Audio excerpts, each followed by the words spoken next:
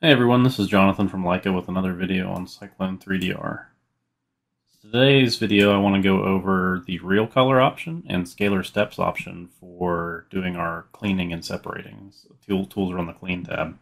And I've just got a, a stockpile dataset here. I picked this dataset just because it's got similar colors, um, but there is some color variation in the aggregate that's here. So we should be able to separate some of that out. Uh, this is just a sample dataset that we use for stockpile, so we've got a lot of contours in here. We can just turn that off uh, because what I want to show you just is for point cloud segmentation purposes.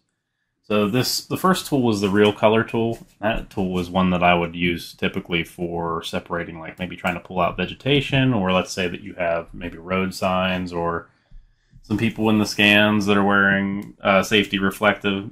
Those are all times that you might be able to isolate some color and then uh, and then remove it or separate it as you see fit.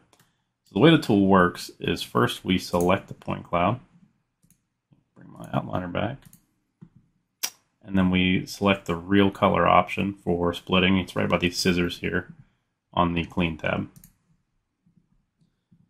So we have a couple different options the way we use it. We can either manually enter an RGB value. I typically don't do too much of that uh, because you can just select this uh, color swatch here and then you can just pick point. You can see it updates, it's just an eyedropper, it just updates whatever color that you click on. So if I wanted to remove this, uh, this sort of beige tan aggregate here, then I can select that and then tell it that uh, I want to split those, those points out. The only setting that you have here that you uh, should alter is the tolerance. So basically what this does is sort of sets a width of color values on the RGB palette that, that 3DR will accept. Uh, in this case, I'll show you what strict would look like.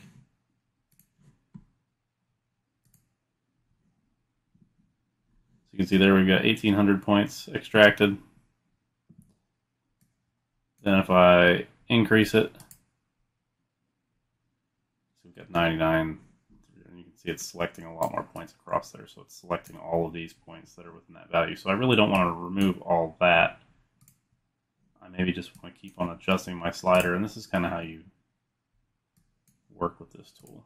So you can see where that would be useful, but in this case, maybe we want to remove vegetation. So I would, I would imagine that, you know, we might have some vegetation on the side of the hill or, or, what, or what have you there. We could use this tool to increase how strict we're going to be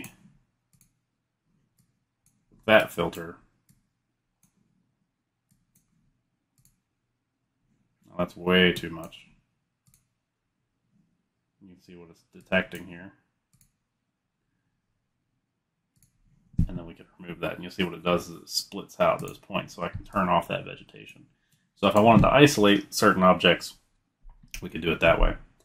Now the other way that we could do um, some splitting here would be to isolate by scalar steps. Now right now we don't have any real scalar steps. Basically what, what would be split right now if we use scalar steps was the intensity values. So you could use this to split by intensity values, and that might be useful. Say if you have uh, paint lines on a roadway, uh, that might be something that you want to use here. Or you can use inspection values after we do some uh, alterations to the point cloud. So I'm just going to do a quick one here. We do an analysis, we'll do a long direction, we'll do it on the z-axis, just to give an elevation heat map. And then I'm going to split this uh, into regular centered or regular steps. So now what I can do, after I've got these colors applied to my inspection layer, is I can select my cloud group here.